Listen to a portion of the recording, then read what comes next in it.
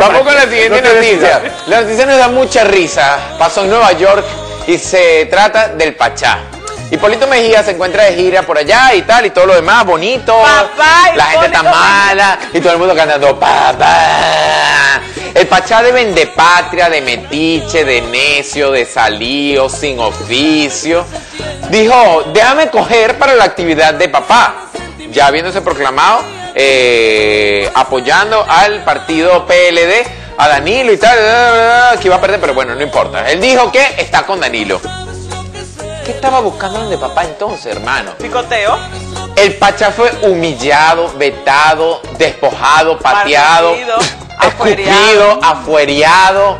Y le dijeron, ubícate, hermano. Hermana. Yo soy el Pachá. ¿Qué pasa? Mira, Pachá, ¿qué tú quieres? Subir a la tarima. Te equivocaste. ¡Lárgate! ¡Jamás! Yo cobro 20 mil dólares por hacer acto de presencia en cualquier actividad y a ustedes por venir acá no le voy a cobrar ni un chele. Déjenme subir. Imposible. Lárgate, vende patria. O sea, que tú me vas a decir que cuando él estuvo hablando disparate donde Robertico, eh, a él le pagaron 20 mil dólares. Óyeme. qué- qué- Pero Robertico, eso no le sale a la película entera. Ahora, yo quiero decirle Le algo habrán conseguido respecto- un travesti de la Ortega y Gasset Mira, y ya. mira, y- eh, lo que pasa es que nosotros tenemos un problema, los medios de comunicación, y es que queremos tratar al Pachá como una persona normal. Cuando entendamos que, que es un subnormal, entonces nos vamos a dar cuenta de que efectivamente es una persona con incapacidad. Mandémosle un Eh, cupo, es entonces, de tratamiento gratis con la doctora Nancy Álvarez. Correcto, a eso iba. Yo creo que la doctora Nancy, su, su caso, realmente donde se puede consagrar como, como psicólogo, es con el Pachá. Lo que pasa es que filo con filo no corta. Ahora, otra cosa.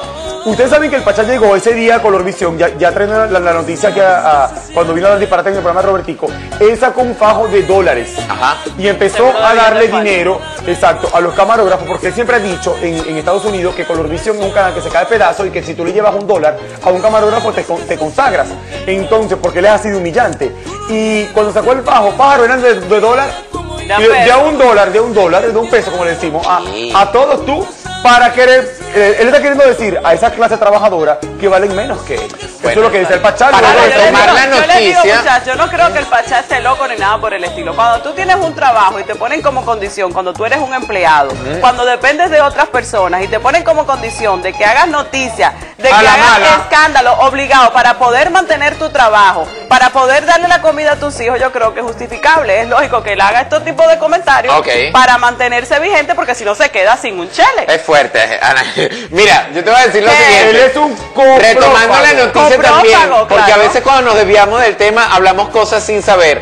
Debo decirte, Pachá, que fue el mismo Hipólito que dio la orden de que no te dejaran subir a la tarima, porque tú le restas. Es lo mismo que todo el mundo piensa que vas a hacer apoyando a Danilo. Restar también, pero como igual ese muerto... Yo no muerto sé también. cómo, cómo don Danilo Medina, que va forzado y apretado, se dejó manipular Pero por el relajo. falta que tú vayas a Anali a lamberle al, al futuro presidente y el mismo presidente, tú calladito, jura que el presidente y tú hay una Es- empatía es- maravillosa y fue el que te mandó a la. El Pachá sabía que no lo iban a dejar subir a la tarima y necesitaba hacer otro bonchecito, Con otro cámara y listo todo. con cámara para poder mantener su Me encanta. su Hipólito, para la próxima los cirqueros vamos allí y sí lo hacemos de gratis, no como ese Pero no, espérate, que nosotros no fuimos, pero nosotros lo invitaron. Ah, Exacto, gracias. Pero vamos a trabajar de gratis siempre. Oh.